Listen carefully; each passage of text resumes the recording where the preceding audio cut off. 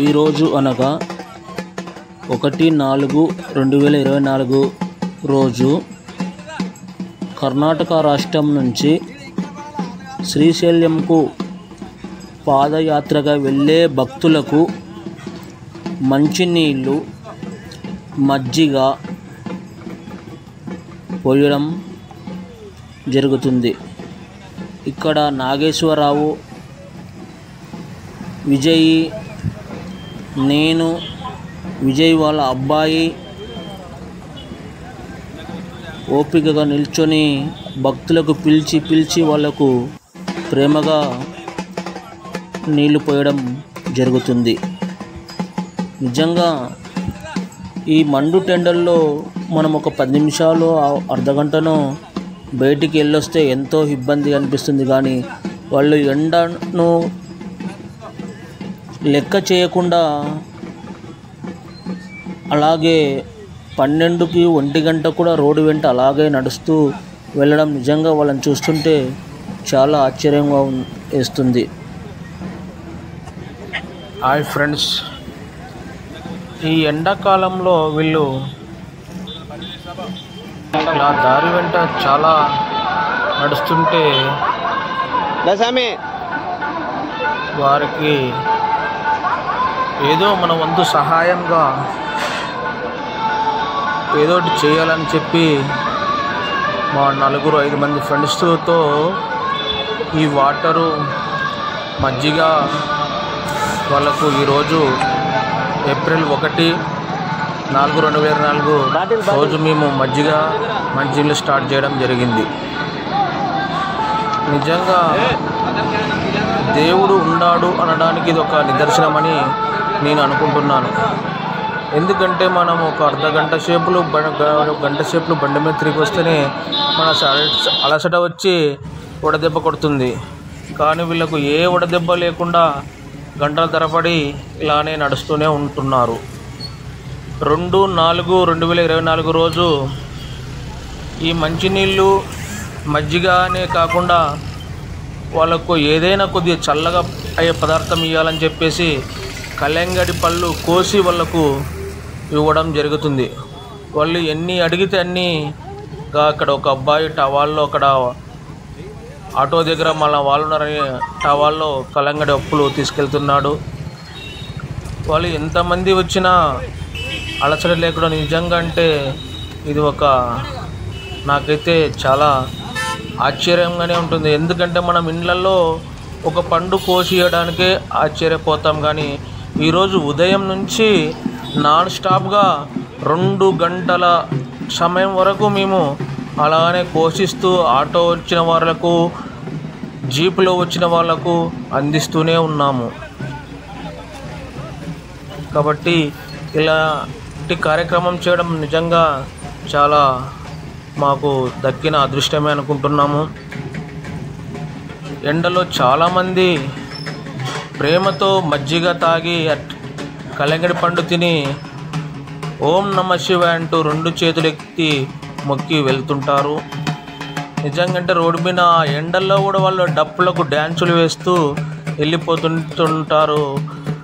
నిజంగా దేవుడు అనేవాడు ఉండడానికి ఇది చాలా నిదర్శనమని నేను అనుకుంటున్నాను. ముసలి వాళ్ళు చిన్నవాళ్ళు తేడా లేకుండా ప్రతి ఒక్కరూ నెత్తిలో బ్యాగ్ వేసుకొని మెడకు బ్యాగ్ తగిలించుకొని భక్తితో వెళ్తుంటే వాళ్ళకు నిజంగా ఆ పరమశివుడు ఎండ అనేదే లేకుండా చేస్తున్నాడేమో. ఆ పరమశివుడు దయవిలకు పూర్తిగా ఉండాల ఉంటుందని మనకు అనిపిస్తుంది. ఈ పరమశివుని ద- ధ్యాసలో వాళ్ళకు ఆ ఎండ అనేది సుమారు నలభై నలభై రెండు డిగ్రీలు ఉన్న ఈ ఎండలో కూడా వీళ్ళు ఇలాగే నడుస్తూ పోతుంటున్నారు నిజంగా అంటే చాలా చాలా గ్రేటు. ఇదే కాకుండా మొన్న ఒక యువకుడు కూడా యాభై కేజీల జొన్నల బస్తాతో కూడా అవలీలగా నడుస్తూ నాలుగు వందల పైచిలుకు కిలోమీటర్లు ఈ జొన్నల మూట అబ్బాయి కూడా వెళ్ళిపోయాడు. వాళ్ళ నుండి మేము కలిసి రావడం జరిగింది. ఈ అబ్బాయి ఎలా నడుస్తున్నాడంటే మనం ఒక బురుగుల సంచు ఒక అలకాని మూట మనం ఎత్తి పెట్టుకుని ఎలా పోతుంటారో అలా పోయి వెళ్ళిపోయాడు. ఆ వీడియో కూడా మీకు చూపిస్తాను. చూడండి ఈరోజు పది గంటల నుంచి దాదాపుగా రెండు మూడు గంటల మధ్యాహ్నం రెండు మూడు గంటల వరకు మేము ఈ కలంగడి పళ్ళు పోషిస్తూనే ఉన్నాము. చాలా ప్రేమగా వాళ్ళు వచ్చి తీసుకొని ఎంతో హ్యాపీగా మజ్జిగ తాగి కలంగడప్పు తినుకుంటూ దారి వెంట హాయిగా నడుచుకుంటూ వెళ్ళిపోయారు. పాదయాత్రికులకు నిజంగంటే ఈ రోజులో కార్యక్రమం చేయడం చాలా సంతోషాన్ని ఇచ్చింది మాకు. నీళ్ళు ఇలాంటి కార్యక్రమాలు ముందు ముందుగా జరిగింది. ఇంకా ఈ ఎన్నో చేయాలని ఆ భగవంతుని పరమశివుని ఆశీస్సులు ఉంటే మేము ఇలాంటి కార్యక్రమాలు చేసే శక్తి ఆ పరమశివుడు మాకు పూర్తిగా కలిగిస్తాడని. కోరుకుంటున్నాము. అలే కాకుండా సాయంత్రం వేళల్లో వాళ్ళకు అల్పాహారంగా ఉగ్గాని కూడా పెట్టడం జరిగింది.